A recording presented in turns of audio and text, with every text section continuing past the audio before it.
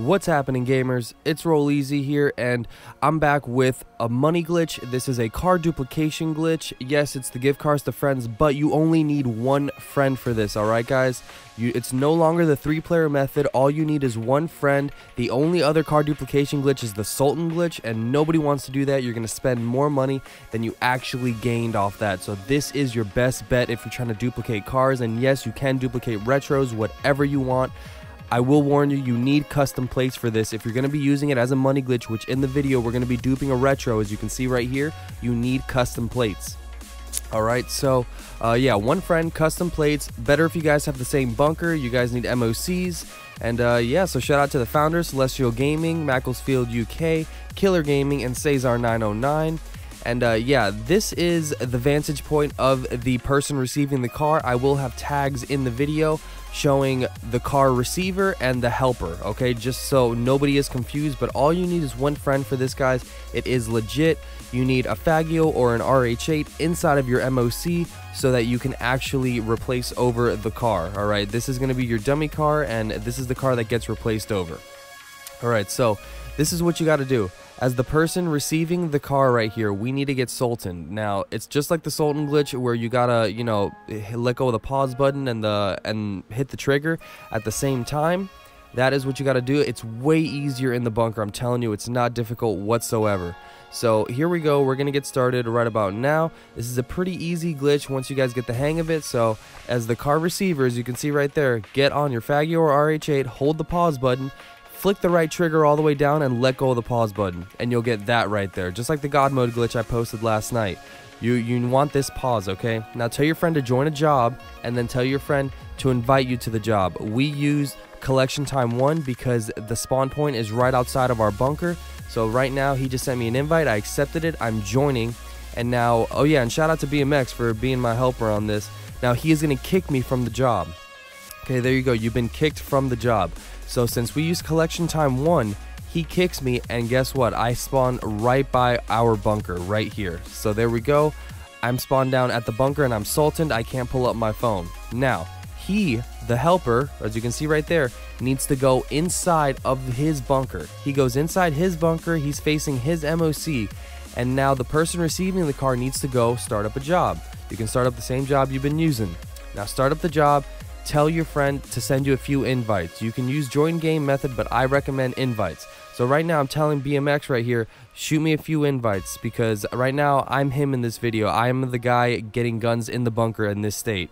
So he shot me a few invites right here. I'm going ahead and I'm getting into the blue circles. I accepted the invites, accepted another invite. He spammed me about three. And now this is what you want to see. Boom. Accept that. Tell him to back out of the job right away. Tell your friend to back out of the job. Now that your friend backed out of the job, you just want to spam through the alerts.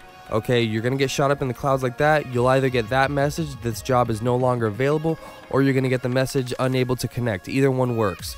Okay, once you get shot back down, boom, there we go. You're back in a default bunker. MOC is gone. You have about three or four seconds to take your sticky bombs out. Take your sticky bombs out and toss them. I was only able to get one down because I kind of messed up, but one is all you need. He was able to get three down for me in this video. Now you're to spawn at another bunker somewhere else, call up a CEO helicopter, and then get back over there. So now we're back together over here in front of the bunker. We're back in the car receiver's uh, point of view. So now he's already thrown the BMX has thrown his bombs in the bunker already. We're ready to go. I'm still sultaned right now. I can't pull up my phone, nothing like that. So he's gonna go ahead and park the car right there. Okay, once he's parked the car right there, He's going to open up the door for me, and then he has his interaction menu open, and then I'm just going to run towards it and spam Y. Remember, tell the friend to open up the interaction menu so that he doesn't get sucked into the bunker. Alright, and just like uh, you saw I did, I ran up to it and I spammed Y. Now I have gotten his car into a default bunker, okay? That's all you want. Just like the guns in the bunker was in default, this car is in a default bunker. It's basically in everyone's bunker in the session. So, once we've done that, go ahead and park it like you see I'm doing right there. Now remember, we have our Faggio or RH8 inside of the MOC. So what you want to do now is go ahead and run outside. Bombs are already placed. Car is already placed in there. We've pretty much done all the work. There's only a few more steps to do. Now, once you go outside, you're actually going to open up your MOC menu. So, and the uh, the friend, the helper, stays outside pretty much this whole time. So open up your MOC menu and request personal vehicle. Once you've requested personal vehicle, that's what's going to bring out the Faggio or RH8 that you had stored in there. You're going to go ahead and get it. Now, before we used to get glitched out or we used to get frozen behind the MOC with another friend. That's why we had to have three people. This is the two player method. So you can see right here, I have to break down the fence because for some reason, uh, you know, driving a Faggio into it doesn't do anything, but I can punch a fence down, you know, GTA logic. All right, so here we go. I'm gonna go ahead and I'm gonna bring this in there. He is gonna stay outside the entire time. He's already gotten guns in the bunker. If he goes anywhere inside of the bunker or anything like that, he's probably gonna get caught on an infinite black loading screen, and you don't want that. All right, so I'm going in there right now with the Faggio. Now, this part can be a bit tricky for some people, but if you listen to me, you will it will help you. So we're going to be getting frozen by ourselves now behind the MOC. What you want to do is quickly, and I mean quickly and very closely, smash right on the D-pad and then and then press start. Okay. So as you can see, sticky bombs right there to the left. He placed a few of them. So right on the D-pad start, almost instantaneously, almost right next to each other, and boom, just like that to get frozen. To check if you did it right, go to the online tab, go to jobs, and you should have those jobs grayed out. Quick jobs and play jobs should be grayed out. Once that is done, you can tell my friend BMX right here, go ahead and press left on the D-pad and blow up the sticky bombs. There we go. He blew up the sticky bombs and we're good. So now he has to get me unfrozen. Now stay in the pause menu. What you want uh, what you want him to do now is go ahead and start up a job. You guys can keep starting up the same job you've been starting. Now this is key. He must not leave that job.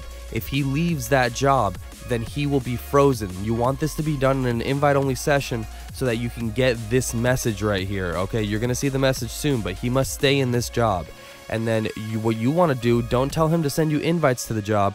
You want him to actually uh, you want to actually go to the online tab go to players and you want to join him through there and you'll see why. So uh, when i'm joining bmx right here we're in an invite only session he didn't send me any invites to this job i'm going to press on his name that's an automatic alert. You don't want to you don't want to use the automatic alerts.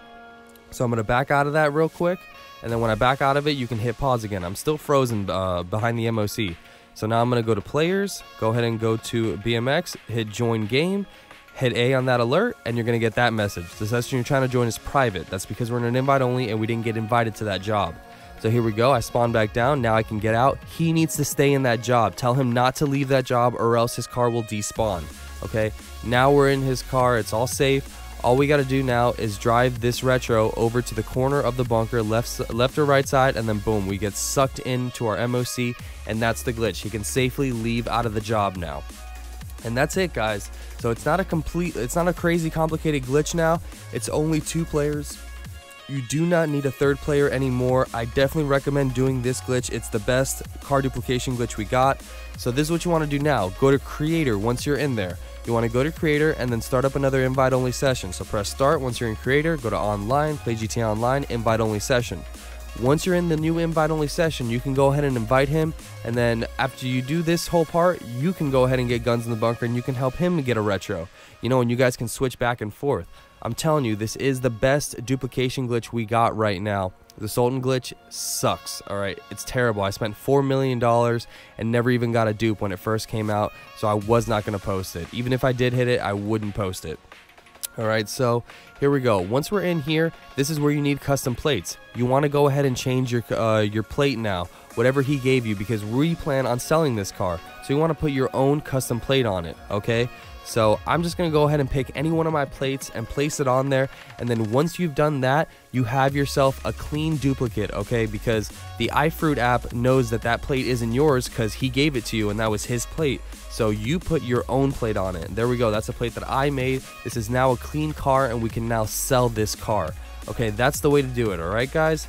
So as you can see, not too complicated whatsoever. You only need one friend and you only need a few requirements. All right. It's not a crazy complicated glitch, but you guys do want to be at least intermediate glitchers. All right. To really get uh, the hang of this glitch. This isn't the best glitch for beginners. I mean, most car duplication glitches aren't best for beginners, to be honest. But this one definitely requires a bit of skill and a bit of practice. So if you keep failing, don't worry about it, guys. Just keep going, okay? But that's going to be it for me. My name is Rolleezy. Hope you guys liked the video and enjoyed it. And if you did, make sure to slap that like button by hitting the blue thumbs up, comment down below, subscribe if you're new by hitting the big red button, and turn on them post notifications for the freshest and most informative dope GTA 5 online content. Peace out, everybody.